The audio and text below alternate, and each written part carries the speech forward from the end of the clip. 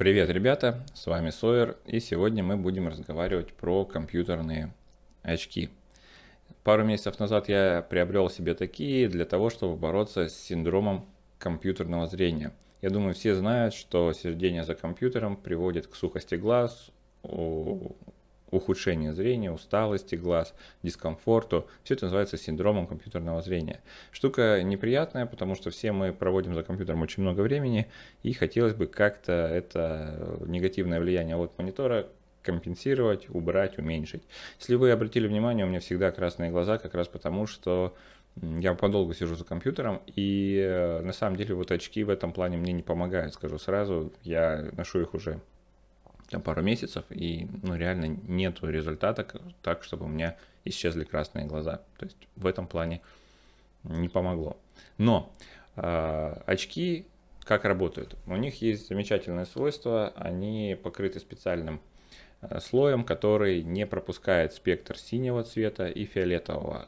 Считается, что именно эти спектры наиболее негативно влияют на ваше зрение. Видите, они даже отражают э, от монитора именно в этом спектре Э, часть излучения. Второй момент, они не пропускают ультрафиолет, тоже негативно влияющий на ваше зрение. Третий, они антибликовые и тем самым выравнивают яркость изображения на мониторе, и за счет этого создается ощущение, что картинка становится более четкой. На самом деле, естественно, никакой э, четкости за счет использования диоптрии здесь не получается, потому что это нулевки. У меня как бы со зрением пока, слава богу, более-менее нормально, я не хочу убрать какие-то а, другие очки. Вот. А, купил я эти очки в аптеке за полторы тысячи, меня посмотрели зрение, сказали, что вот они мне подойдут. А, на самом деле Сейчас я уже думаю о том, что нужно брать более дорогие, более качественные очки, и в первую очередь это связано с оправой. Вот эти тонкие дужки, которые есть на этих очках, они мне не нравятся тем, что они пропускают достаточно много света. То есть более толстые дужки, они позволят заблокировать часть э, света, который идет вокруг а, очков и тем самым уменьшить такой эффект, который здесь появляется при некоторых углах зрения, когда твои глаза отражаются во внутренней поверхности очков. Вот это неприятная штука, и мне хотелось бы найти очки, которые бы этим не обладают, потому что ну, иногда неприятно видеть собственные глаза э, в отражении. Это раз. Второй момент, сама по себе оправа хлипкая и может легко сломаться даже. Я сейчас использую их не очень долго, понимаю, что она ненадежная. Второй, третий момент уже получается в том, что я хотел бы немножко получить большую гарантию в отношении стекол. Несмотря на то, что я купил очки в аптеке, несмотря на то, что они вроде как соответствуют и сертифицированы, у меня нет ощущения того, что это хорошие стекла, потому что они, ну, тупо говоря, дешевые.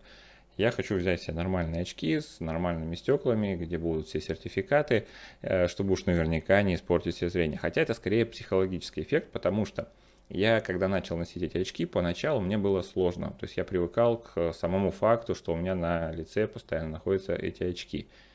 Ну да, я носил до этого солнцезащитные очки, но это совсем другое. Там, в общем-то, не так долго я их ношу, как кажется. Здесь же я по много часов провожу в очках, и мне было дискомфортно.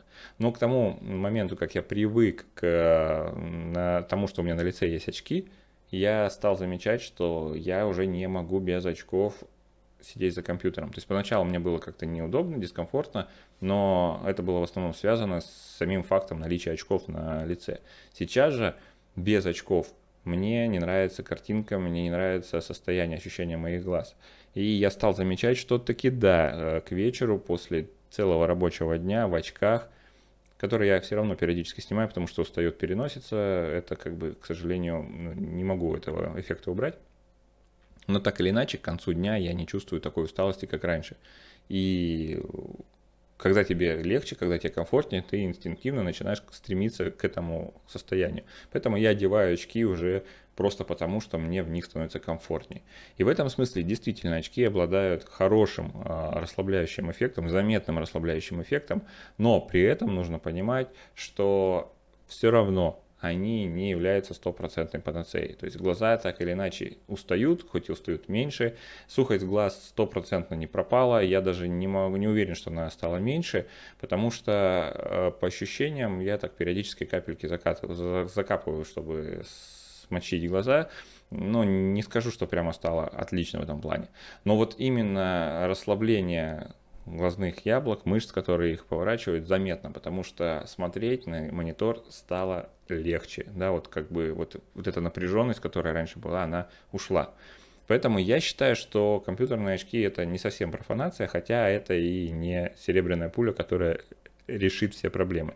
И самое важное, они могут создать проблемы, если вы будете их брать некачественные. Вот я еще раз говорю, я не уверен в качестве этих очков, и меня это немножко гложет, хотя положительные эффекты наблюдаю. Поэтому всегда нужно их проверять.